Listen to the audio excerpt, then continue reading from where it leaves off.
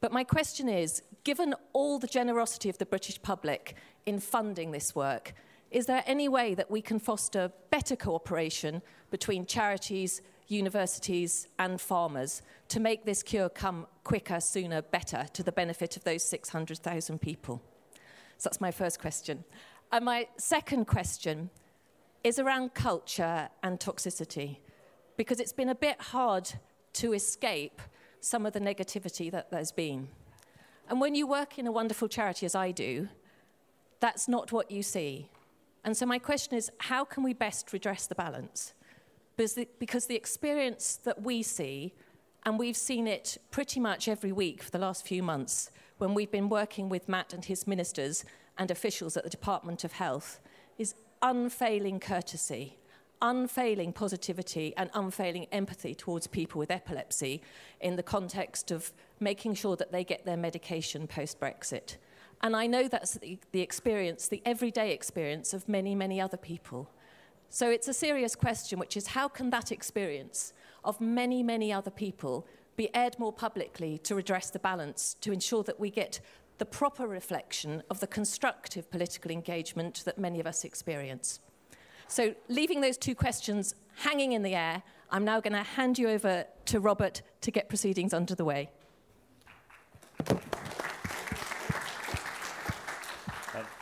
Thank you very much. I'm Robert Colvile. I'm the director of the Centre for Policy Studies. I'm delighted to have you here today, and I'm delighted to uh, uh, be talking to Matt Hancock, the Secretary of State for Health and Social Care. And um, I'm delighted that the Epilepsy Society have, have supported uh, this event. Um, Matt, um, I, a, a year ago we, we, we, we did an event much like this uh, in Birmingham, and I, I, I remember asking you the question about whether you know whether Corbyn or Brexit was sort of what kept you kept you up at night. And yeah. in your speech today, you gave a sort of pretty clear answer to that. You, you sort of said, like, I, I have a deep and special responsibility, effectively, to stop Jeremy Corbyn yes. becoming becoming prime minister. Yes. And that is that is still sort of priori- priority. Absolutely, one. priority number one for all uh, conservatives uh, for all who have a, uh, I, I believe, all who have an interest in the future of our country as a, a strong and self-confident nation, um, all who believe that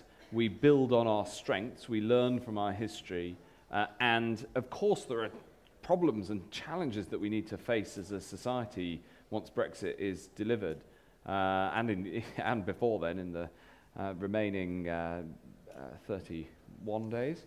Um, but by God, we need to make sure that Corbyn and the Corbynistas never seize power. And I wrote that section of the speech whilst I was watching Labour Party conference last week.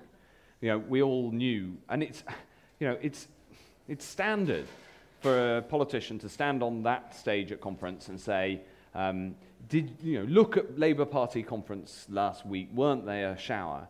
But this year, it, it, it, was worse than ever. It was absolutely unbelievable. And I think because of partly because of the political noise around Brexit, and then because their, um, their conference was interrupted with the Supreme Court judgment, we didn't really, in the press, digest the full horror of it.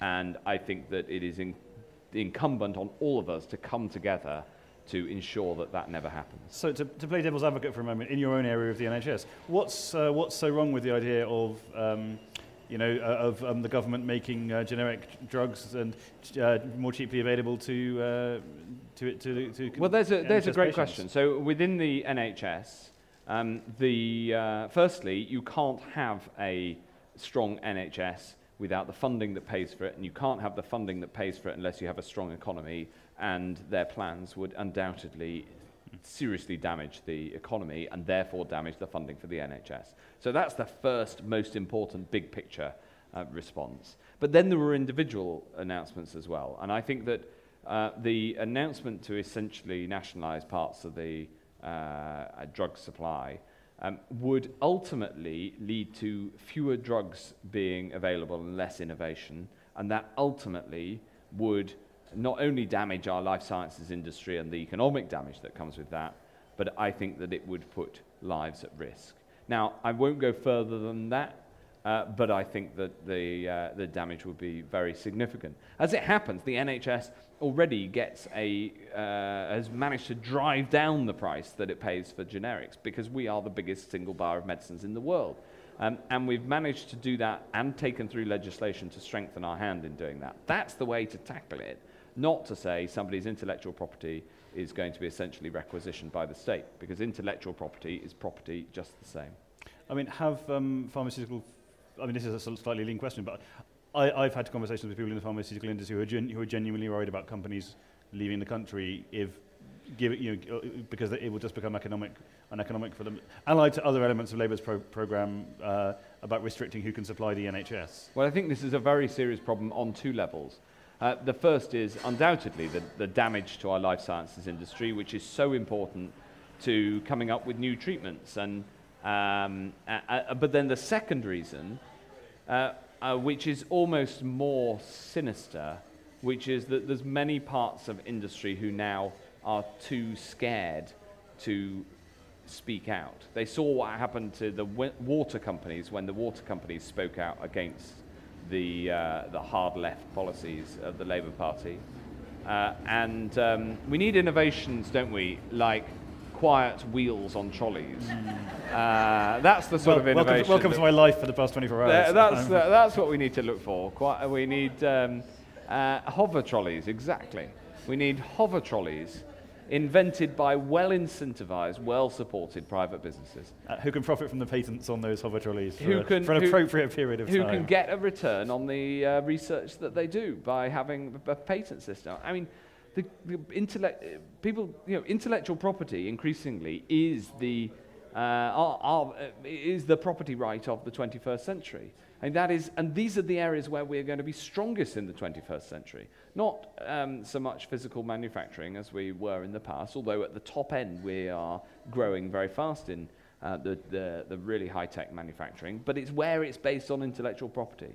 And whether, whether um, in digital form or in services or in those, that high-end manufacturing, intellectual property is the, is the bedrock of property rights in the 21st century, and we undermine that, and we undermine the industries that rely on it. So uh, you're one of the rare ministers in this current government who is still in the same position that they were in beforehand, which means that you were responsible for overseeing preparation for Brexit yes. and, and, for no deal Brexit, yeah. sort of before and after. Yeah. I mean, uh, have you, I mean, you obviously there is a sense that the government before, before was saying, oh yes, we're doing everything we can to prepare for no deal, but actually not much energy was going into it. Whereas you talk to people who are now in government and they talk, I talk about absolutely the sort of yes. the, a, a sort of almost frenzied uh, effort to like nail down every single problem. So what, yes. what's been the difference in the within the Department of Health and the NHS in terms of the, the, the preparations? Oh, the difference has been we've now got much more support from the centre of government, from Cabinet Office and from the Treasury. So um, the, uh, the health department was widely regarded as the best prepared department in the run up to the 29th of March. And the reason for that was that when I was asked to do the job by Theresa May uh, 15 months ago now, I said um, we need to make sure that the health sector, the department, the NHS, and more broadly, and the social care sector are prepared in the event of a no deal Brexit. And even as somebody who uh, passionately wants a, a, deal and wants us to leave with a deal, and I'm uh, increasingly optimistic that we can leave with a deal on the 31st of October, we absolutely uh, must prepare in the event of no deal as well. And that's been my position uh, since, uh, essentially since the referendum, and certainly when I became Health Secretary. So one of the first things I did when I became Health Secretary was accelerate preparations for no deal. And the good thing is, as Health Secretary, is that you have one of the biggest budgets in Whitehall. So I could get on with those preparations and work with the pharmaceutical industry, who have been superb. And I absolutely concur with what Clare said. It, we, it has been calm, quiet, organized preparation on a basis of, uh, of mutual respect, irrespective of people's views of, uh, of, uh, on Brexit, how they voted, or whether they think no deal was a good idea or not. Uh, throughout that period, it has been a potential outcome and it is therefore incumbent on those of us responsible to prepare. So one of the first things I did was accelerate the preparations, and then I got to the point where I had to say, even if Treasury say the money isn't available, we are going to do what is objectively the right thing to do. And I gave that instruction to the department, and so we managed to prepare ahead of the 29th of March. And we were well prepared, and we've then spent the time since then making sure the preparations are, are more complete. So, so it's not as if there's a sort of acceptable level of excess mortality. Uh, the, the target is that, that, the, that medicines will be there. That Absolutely. Know, and we have plans to ensure that's, uh, that, that that happens. And obviously, the, and we know, uh, interestingly, if you're interested in pharmaceuticals and the supply chain, we have we know more about the pharmaceutical supply chain in the UK than at any point in history. Uh, and um, you know, there are 12,300 licensed prescription drugs in the UK. Um, I didn't know that before we started the no deal prep. Um, and um, we understand the proportion of those um, which have a European and EU footprint, which is about uh, just over 7,000. And we know um, the, what areas they're in, and we know which ones have biosimilar other drugs that you could switch to. Um, we know an extraordinary amount of, uh, uh of detail. Uh, and we've got on in a calm and sensible way and made those preparations. And the NHS has also been brilliant, as well as the pharmaceutical industry. You know, after all, the NHS is there for when things don't go according to plan, and, um, and, and so has risen to this challenge. And, and the other issue, of course, is, is staffing. That um, the NHS is, is understaffed in many areas, especially many sort of specialised areas. Even if you take Brexit out of the, out of the equation, many European staff e, uh, sort of have been uncertain of their immigration status and also just more generally of their sort of feeling that the country doesn't doesn't welcome them. I mean, what what are, the, what are the that is it a more long term uh, issue, but are there well, yes, uh, uh, this, uh, th there are areas where this has been a, a, challenge, but there are more EU staff now in the NHS than there were on referendum day, and there are more staff from the rest of the world than there are EU staff. Um, that is, EU staff who aren't British.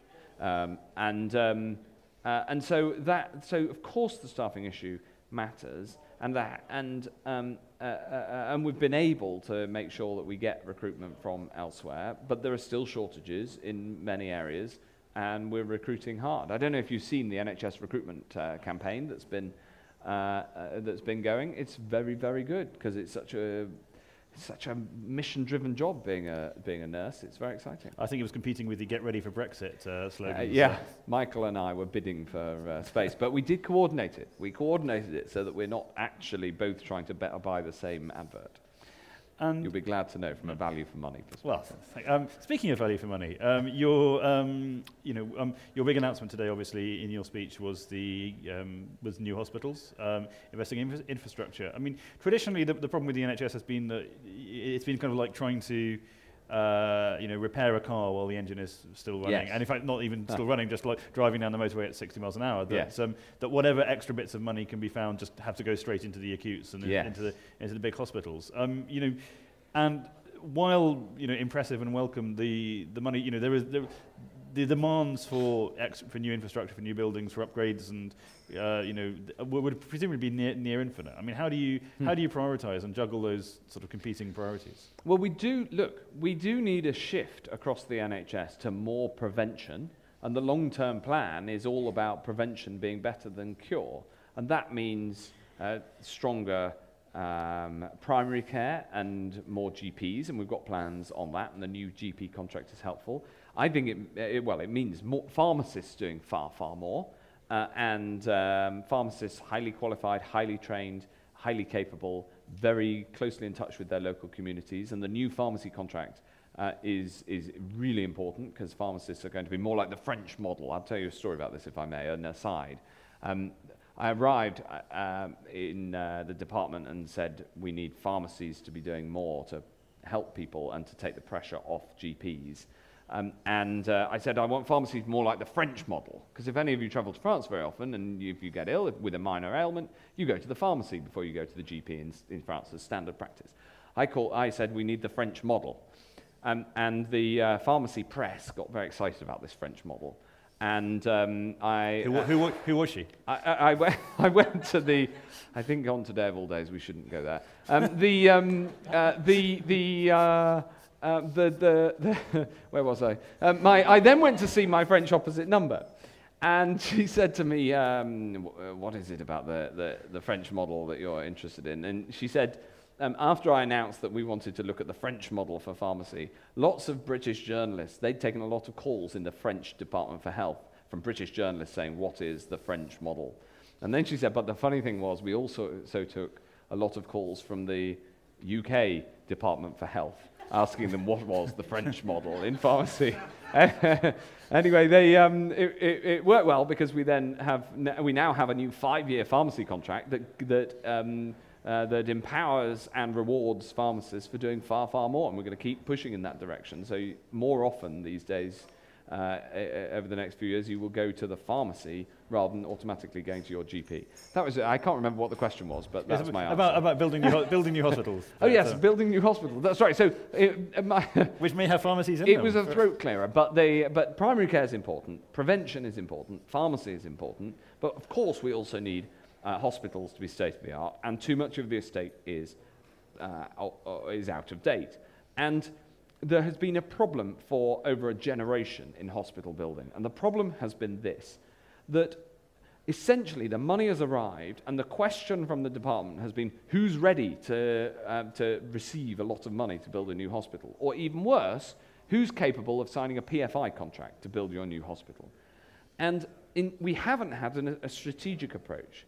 So I learnt from what we did with roads where we have a road investment strategy, RIS as it's called, and you have RIS 1, and roads are built in RIS 1, and then RIS 2, and you, if your road isn't done in road RIS 1, it goes into RIS 2, and you can do the preparatory and the planning work, and you get funded to do that work, and then you get funded for the, to actually build the new road down the track, and then now we're on to RIS 3. So we're going to introduce this approach for building hospitals, a strategic approach where you can make an assessment of need, and, and so for a hospital that clearly do, will need to be rebuilt but doesn't have the plan to, you can get that ready and you can have this strategic approach. So we're going to have the health infrastructure plan. HIP 1, six hospitals where they're ready to go, where we can give the investment immediately because they've already got the plans in place. HIP 2 will be the, the next, the 34 next, where they get the planning work money now and they can get the plans ready and they get the go ahead to build the hospital.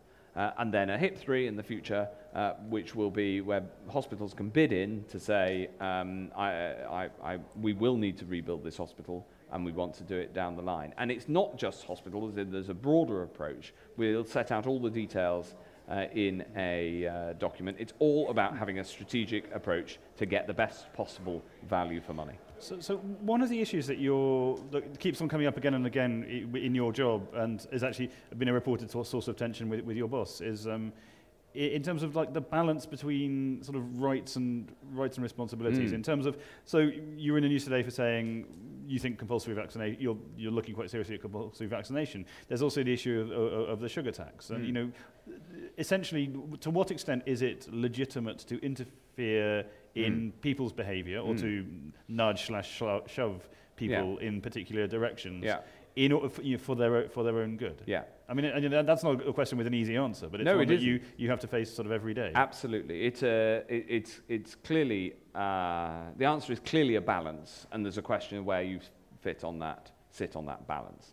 Um, but it, it's, a right, it's the right question. It's a legitimate question. And in fact, I think that sometimes in the past, the debate around the health service has focused too much on only the rights you get from the NHS. They're rights that I am proud of, that, it, that we treat people according to need, not ability to pay. But that is essentially a right from the state, that if you ship up at an A&E and you are a British uh, taxpayer, um, then you will be, well, if you ship up at an A&E, you'll be treated what, whatever, uh, and, um, uh, and, if, you can get your elective surgery from the NHS free at the point of use. Quite right. Um, but we also need this debate about the responsibilities that we have. And in a sense, you know, the state in the UK insures the whole of society for our health needs.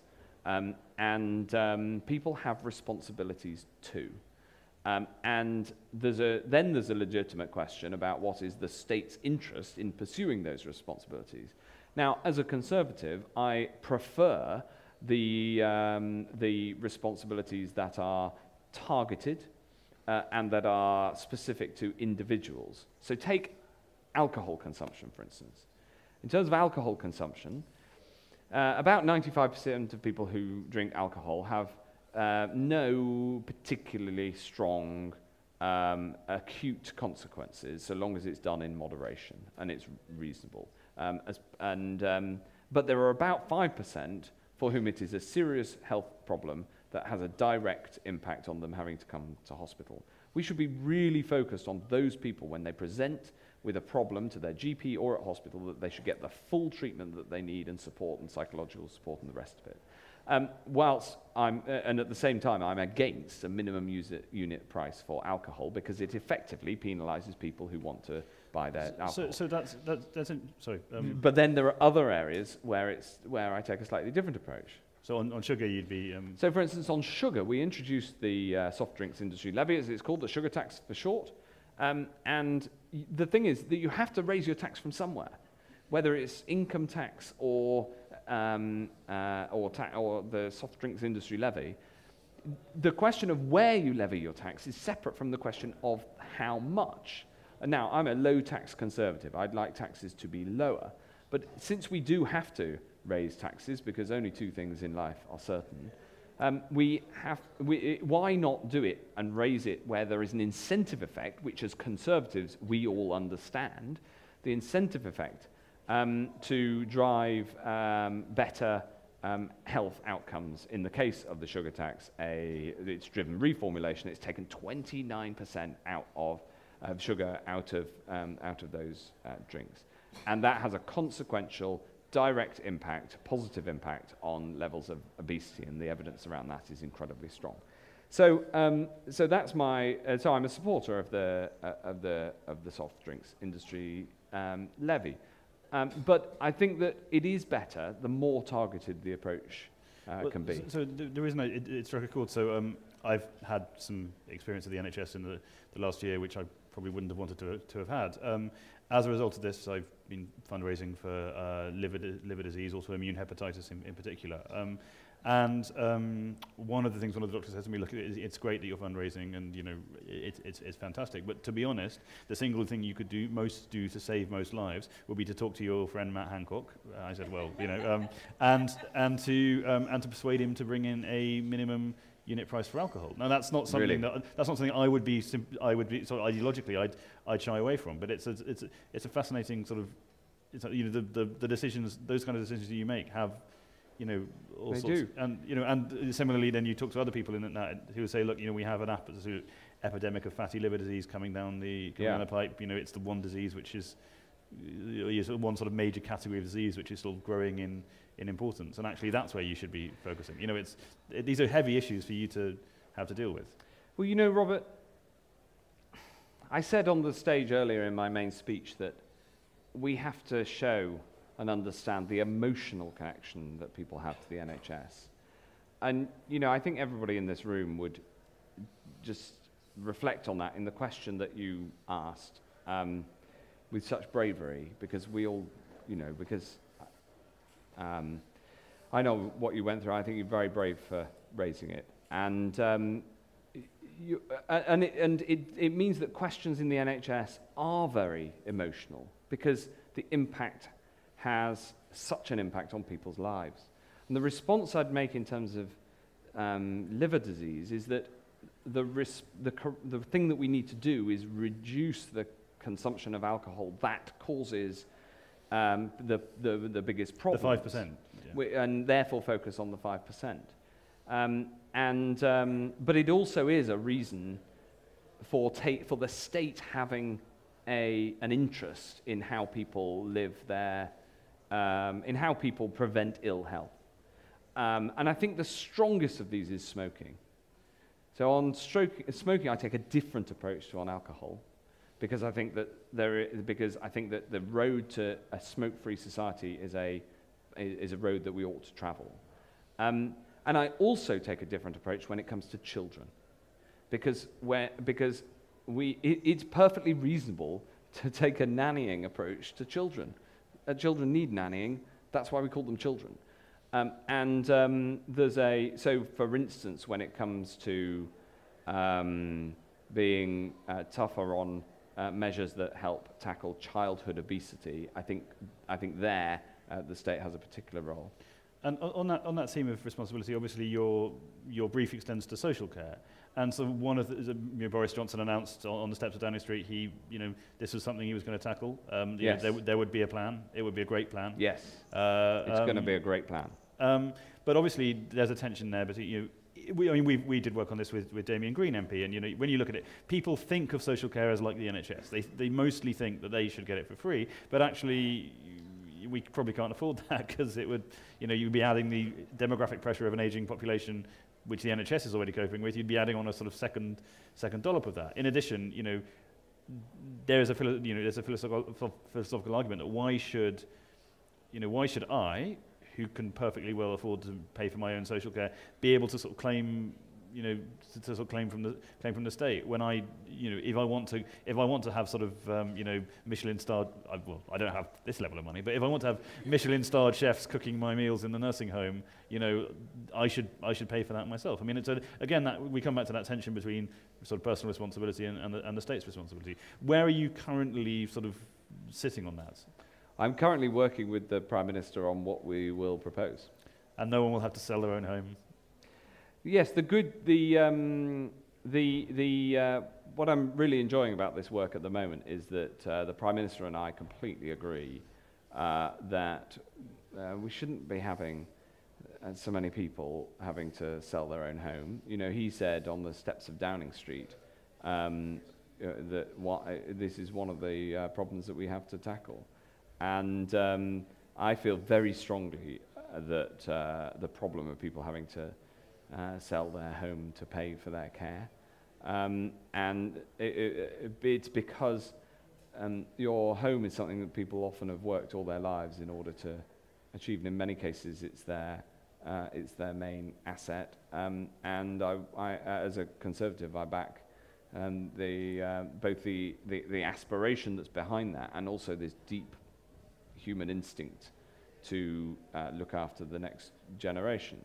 Um, but having said that, um, we, uh, uh, or and rather, having said that, we need to make sure that social care is properly funded into the future. I'm not going to say any more in terms of where my thinking's up to because um, we are looking forward to saying something in public in due course.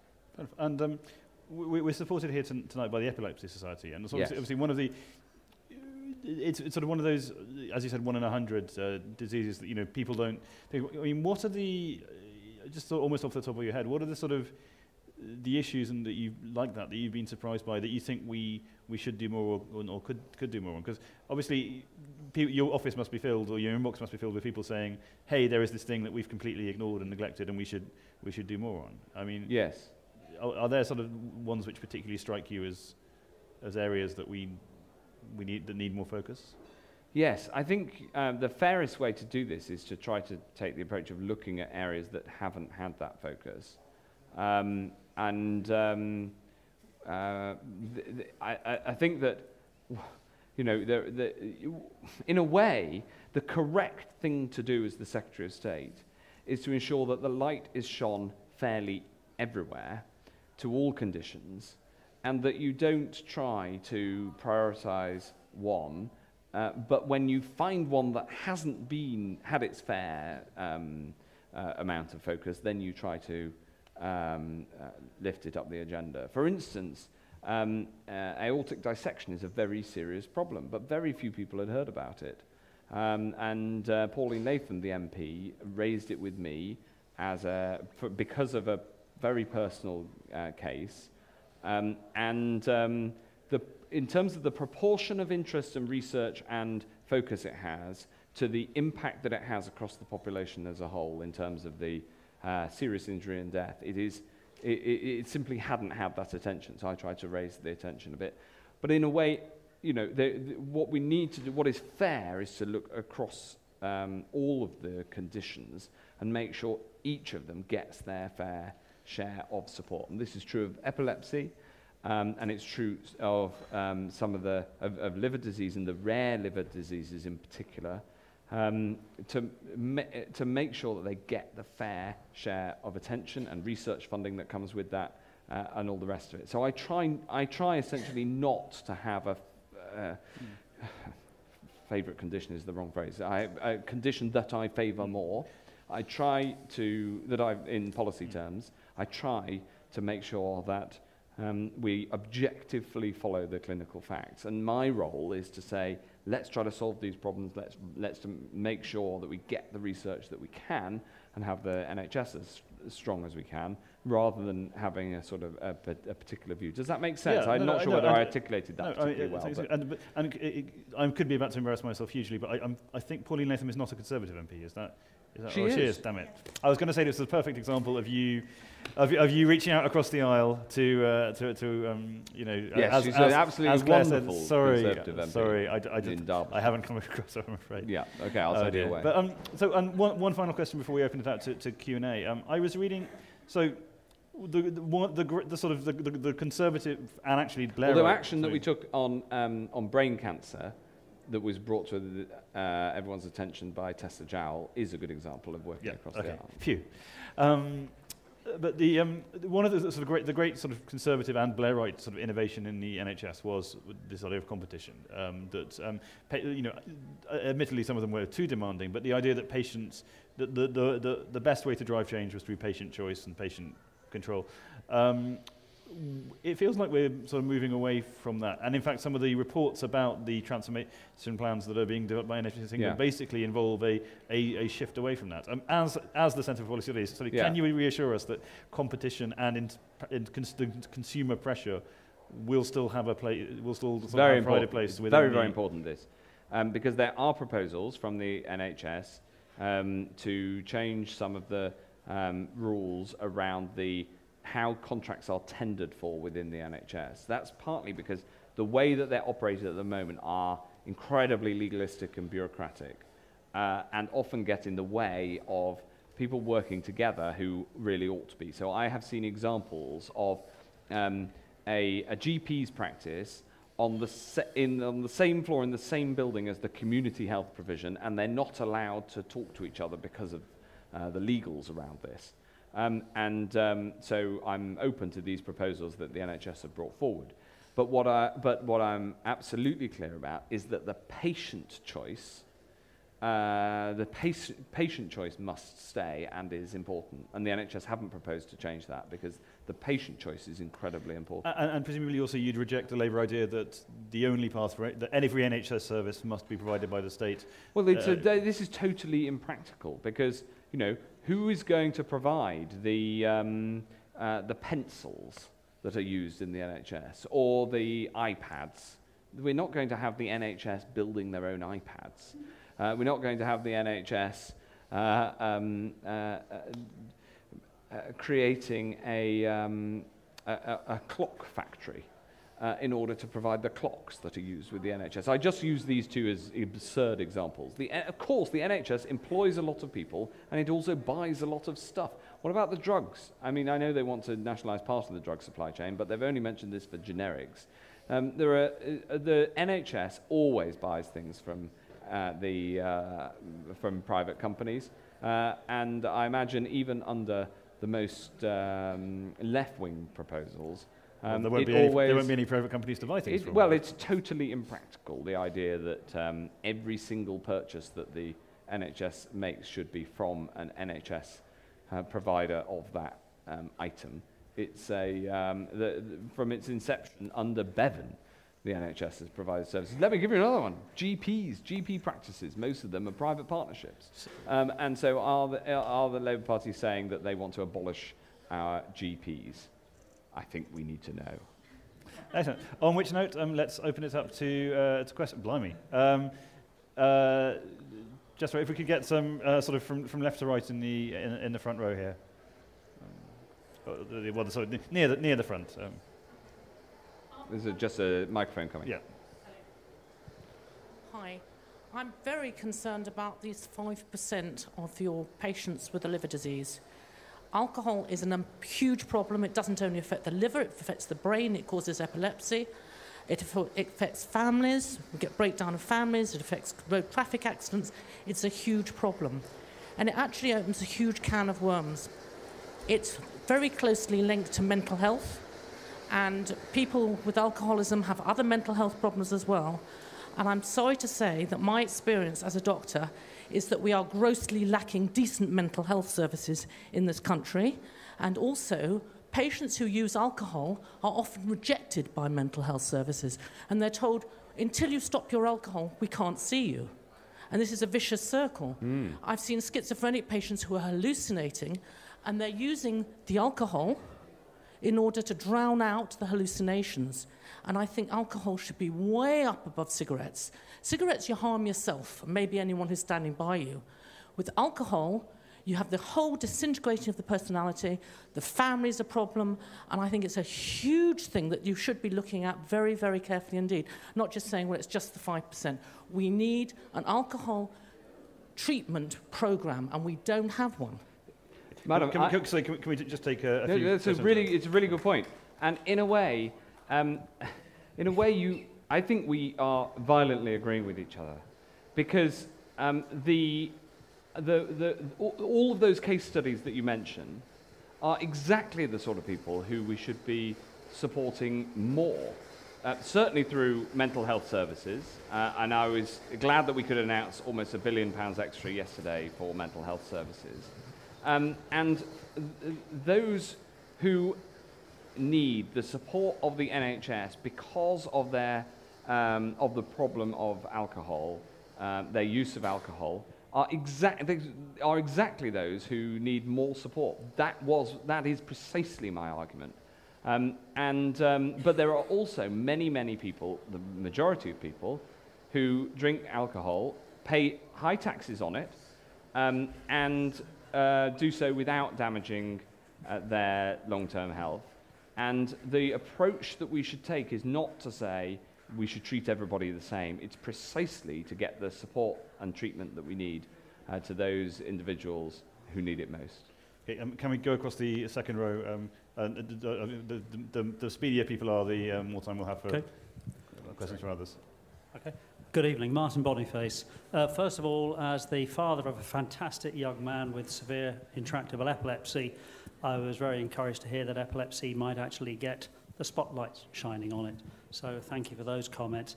Uh, a different area I'm interested in, and that is of people with learning disabilities. Mm-hmm. Uh, we know there are statistics that show that the average general population in England and Wales, 5% will die before the age of 50. If you have learning disabilities, it's more like 23%, and people with learning disabilities typically have a life expectancy of 28 years less than the general population. Um, I'd like to understand what the government's views are on what can be done and what will be done to address what I think is a pretty disgraceful affair for people with learning disabilities. Yes. And then, so, uh, so, sorry, uh, uh, oh, unless, you, unless you want to just... Well, I think, uh, look, I, I strongly agree with you. Um, I think also um, we talked about social care often in the political debate. Um, when people talk about social care, they automatically think about social care amongst um, the older population in their declining years. And in fact, mea culpa, I was guilty of this in the, my response to Robert's question. Uh, whereas the support for those with learning disabilities that are needed through social care is an area of intense focus for us at the moment um, both in terms of domiciliary care, but in particular ensuring that people have the appropriate residential care where that's necessary, where there are some very significant problems that we're working hard on. The individual cases are often quite difficult, and so it takes time to resolve them correctly. But it's an area that, with Caroline Dinenage, the Minister for Care, we're doing a huge amount of work on. Um, and so essentially, I accept the premise of your question, and I, uh, I hope that we can make some um, significant improvements in my time as Health Secretary. Thank you. Um, thank you, Matt. My name is Vicky. Like Matt, I've also, not Matt, sorry, like Martin, and, and I've also got a strong interest in the field of learning disability and autism because I have learning disabilities and autism myself. Um, in terms, um, well, I've got a couple of questions actually. So we, so we only have time. I'm really sorry. We only have time for one quite short question because there's so right. many other people who want to ask uh, the Secretary of State. Um, um, well, the uh, big one is you were saying yes, prevention is better than cure. Oh, oh, um, um, in terms of um, physically getting ill. Oh, oh, but what about uh, um, prevention in terms of people getting mental health, problems? Because, um, as I'm sure you're aware of, uh, lack of support for people with autism can lead to mental health problems. Yes. Um, uh, and, and in worst case scenario, those without that support, they can end up in an assessment and treatment unit and end up being abused like we saw at Whorlton Hall Yes. and Winterbourne View. Yes. Yes. Thank you for your question. I think it's incredibly important. And you're, you're, uh, you're absolutely right. When I was talking about the prevention agenda, I absolutely mean this in both physical and mental health. It's incredibly important. Um, and this, the announcement I mentioned yesterday of an extra almost a billion pounds is for community mental health facilities because we have not had nearly enough, responsive enough uh, mental health uh, facilities in community settings. Um, and it's a big part of the long-term plan to turn that around, um, precisely for some of the reasons that you mentioned. Not only uh, to make sure people get the support, but also to make sure that they don't end up in much more uh, severe crisis and ending up in inpatient, uh, inpatient settings. So I, I strongly agree with you, and I hope that we can make progress on this journey. Um, so the lady there and then the gentleman behind her. Um, Mr. Hancock, I'm from the Pharmacy Press, which you spoke about. Yes. Um, who, who loved Did you the call the French uh, Um, it was my predecessor. I'm now doing her role. So Okay. Yes. And I was just wondering, all the pharmacists I've spoken to have said the new model is great, um, the new funding deal, but you've frozen funding for five years. How can pharmacists deliver that? They feel like they just do not have the time or money to deliver the service-based contract. So I was just wondering what you have to say to those people. Yes, so the new contract, I'm glad to get the feedback that the new contract is great. That's the same feedback as I've, um, and as I've got. It also allows for an expansion of services. So if people do uh, deliver more services, then they will get more return within that. So the, uh, the existing envelope was based on a flat cash agreement, uh, but, the, uh, but the scope within it for lots more services, and I hope that we'll see lots more services as pharmacies are used more and more within the NHS family uh, to deliver for patients. So uh, I'm, I'm glad to get the feedback. I'm absolutely convinced that there's more to do. I'm very excited about the progress we're making with, uh, with, with, with making the most out of our, our community pharmacies right across the country. Uh, hi, Matt. Um, one of the, the focuses of your sort of tenure as health secretary has been about opening up and sharing you know, health data. And you know, the polling shows that people are quite happy to um, share their data where they can see a benefit either to themselves or to society as a whole. But Yeah. I'm just wondering, you know, there's still a sense of nervousness, nervousness around it. And how do you think we should sort of you know, move that agenda and take people on that journey Yeah. so they're feeling much more comfortable Yeah. about having that control and sharing their health data openly? So this is a really good question, really important question, and it ties actually to the prevention agenda. Because one of the reasons we can be more targeted with where we prevent ill health is because there is better availability of data. But you're completely right that we have to take the public with us, and that is by, and we do that by maintaining trust. And trust is at the heart of the plans that we've got to, um, to allow health data to be used to save more lives, which it does already and will much more in the future. But it's got to be done in a way that protects people's um, privacy as well. Now, I'm confident that we can make good progress on this, not least because uh, you know, we all have lots of sensitive personal data. In other areas, like with our financial data, which for some people is more sensitive than their health data, we've made, um, we've made further progress. Um, and um, I, think that, I think that also we make progress by motivating why it's important. For instance, explaining that allowing your data to be used for research purposes is the number one ask of most of the health charities including the Epilepsy Society. Um, you know, the, people like um, you, Clare, can actually motivate why this matters um, better than I can, uh, because you can explain that it helps. It can help to um, uh, to make people's lives better. Um, and so, trust and consent have got to be at the heart of it. Uh, and, um, uh, uh, and I'm very enthusiastic, as you might know, about the power of new technology to save lives. Uh, it's got to be done in concert with the right, with people uh, and clinicians. It's, it, ultimately, it can make, it's got to make clinicians' lives better. In fact, the number one ask we get in, um, in the health service around data, um, not uh, from people who work in the health service, is can you make my log on, login quicker? Um, and um, that may, you know, uh, some, some of you laughed, um, and I wasn't surprised. It sounds at one level glib, but when it takes you 20 minutes to log in and you're often chucked out for no, for no apparent reason, and then it takes you another 20 minutes, you know, the improvement in the in clinicians' lives that you can get from improving. I've got a few people who look like doctors who are nodding. You're a doctor, sir? No, but you are, were nodding. Um, whoops. Um, the, um, uh, the, the, the improvements can be very significant, both for clinicians to give them back the gift of time uh, and also for the research that can, uh, uh, that can help save lives in the future.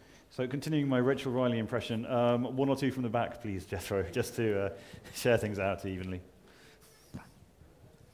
Um, hopefully my question actually follows on in that theme. Um, you were speaking earlier about the importance of private sector involvement, especially to drive innovation in the NHS. I was wondering if you think that same argument applies when you think about curating and analysing NHS data, or whether that can be done internally, either in NHSX or in the department more broadly. Yeah, well, I'm very excited about NHSX as, uh, as the uh, institution to drive this agenda, uh, both the ethics and the privacy and the uh, technological advance, because um, ultimately, good, a, good data architecture and good policy around data makes it both more secure and more usable. It's a fallacy that there's a trade-off between the two because badly held data will be both insecure and uh, unusable. Uh, and there's a huge role for the, for the NHS itself to be doing this work. Um, the, uh, the, the, the uh, 250 million announcement that we made in the summer uh, for an AI lab within the NHS is precisely to do this inside the NHS so that we can hire some of the best people from around the world and, and, and bring, those, uh, uh, bring those, this new technology to bear directly. But I'm, I'm also open to doing it with innovative companies, but there we've got to make sure that the privacy arrangements are good, that, that the NHS sees some of the, sees the benefit, not only the clinical benefit, but also making sure that uh, if, if companies are going to make um, the, the, the, the, contractual arrangements are right. Uh, and we're doing a lot of work on that that's being led by Baroness Blackwood, um, who is absolutely brilliant on this agenda. So there is an upside, but I'm also enthusiastic about doing it within the NHS itself. Hi, Matt. My name's Helen Davies from Alzheimer's Research UK. Um, I'm sure with your fantastic powers of observation, you'll have seen on the big screens in the main conference hall, we're running our Just 1% campaign. So we're calling on government to put 1% of the total annual cost of dementia towards research to find effective treatments. At the moment, government's putting 0.3% towards uh, research. To put that in other words, so for every £316 we're spending on the NHS, social care and informal care, we're putting just one pound towards research. And if you're going to crack and solve the uh, social care crisis, the only long-term sustainable solution is to find effective treatments for dementia. So will you support our Just 1% campaign uh, and help move towards treatments sooner? Thank you. Uh, absolutely brilliant question um, and um, a very uh, a noble goal, um, which we are um, uh, which I'm very open to. I can't commit to it today, um, but we, uh, we announced obviously the, uh, the capital funding for the, um, for the 40 hospitals um, at, uh, at this conference. We have not yet agreed the research budget over the years to come, uh, but that is a discussion that we're about to enter into. And so I think the timing of your question uh, was incredibly apposite. Um, and I hope that uh, I hope also the question about the, the, the data feeds into the research because much of that research will be driven by the data uh, as well. So I'm um, uh, I, I can't I can't commit, but I'm trying to give the I'm trying to give a um, a, a, a, a very warm I, I reception mean, I mean just, to the mean, question. Based on the I mean tonight and chairing a previous event with you last year, I mean in some ways, your, your job must be the sort of one of the most depressing in Whitehall because because so much of it has to be gently telling people, you know, that there are so many demands. There, there is there is only so much money, and you know, people because people just must keep asking you for and these heartbreaking stories that you then have to have to respond to. It's it's definitely one of the most emotionally engaged and emotionally involved. Um, people come and tell you about how, when the NHS was there for them. People who have had very serious. Uh, um, health problems or loved ones with health problems um, tell you about it. But it's nearly always positive and highly motivating, Robert. It really is, um, because, um, because people really love the NHS.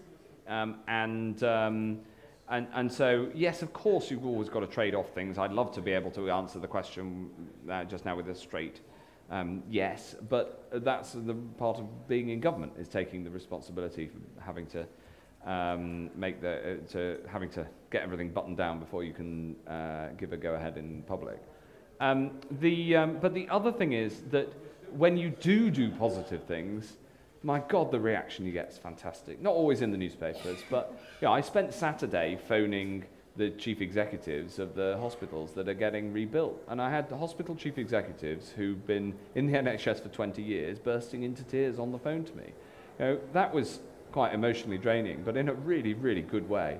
So um, I wouldn't say it's the most depressing, but I would say it's one of the most emotionally involved uh, portfolios in government. And we've got time for a couple more questions um, uh, from well, the gentleman in the wheelchair and then... Hi, Matt or Mr. Hancock. Uh, Whichever you prefer. Matt.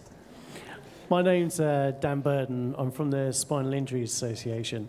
Um, it was really good to hear at the beginning of the talk about um, staff in the EU, um, staff in the NHS from the EU. Um, one of the workforces which often is missed out of the conversation is actually um, the care workforce, mm. and be that for um, social care or. Mm. I'll give it a plug because it's not often mentioned NHS continuing healthcare. Yeah. And one of the issues that um, our members, spinal cord injured people, are now bringing up with us on a daily basis is the fact that their carers who've been trained to deal with their specialist condition are now going back to the EU. Um, I was just wondering what you thought about that and actually what plans we had to make sure that people were still able to get specialist carers to meet their condition. Yeah, it, it, it's incredibly important. Uh, and we've made some progress on it with the, under the new um, administration since Boris became uh, Prime Minister. Um, and uh, look, clearly there is going to be a change in the immigration system. Um, that was a big part of the EU debate. Um, but one of the good things is we will then, as a country, control our immigration system around the world.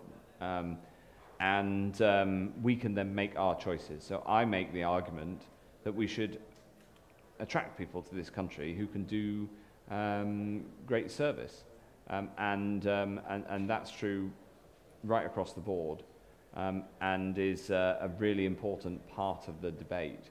Uh, we need to have, we need, I think by controlling the system, we can have more social uh, permission and acceptance for uh, making the argument uh, for people coming from abroad in order to care for us. And I think that's true in, in, in all of the caring professions.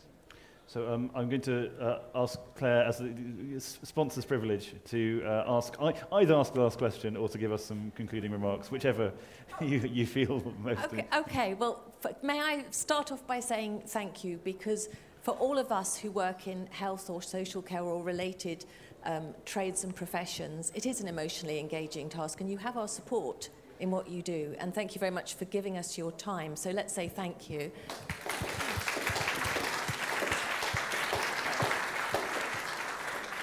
And my final question is really, which is, I hope you never feel inhibited or, or unable to ask for help because you've got a difficult and challenging job. And all of us in this room, in our different ways, are here to help you, whether we work in, in hmm. the health service or in social care or in charities. We're, we're here to help you.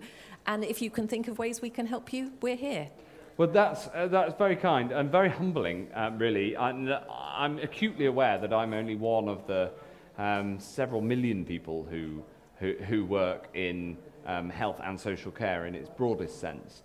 Um, but the really um, uh, energizing thing about being health secretary is it is such a mission-driven job. The NHS is a mission-driven organisation. The charities that are involved, the businesses that are involved, uh, are, are mission-driven, and we have a, uh, a mission that we can be proud of, which is to uh, which is to help people to be able to live their best life. And so it's a, it's a, it's a joy and an honour to be part of it. Thank you, Clare. And um, if you can join me in thanking Matt Hancock.